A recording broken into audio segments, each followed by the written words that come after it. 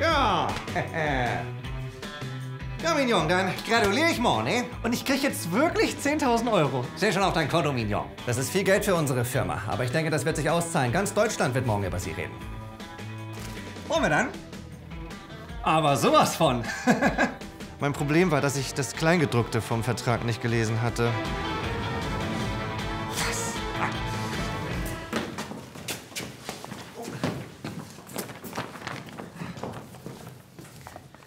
Ist verpflichtet, das Kostüm zu tragen, 24 Stunden, bei Tag und bei Nacht. Ein Leben lang.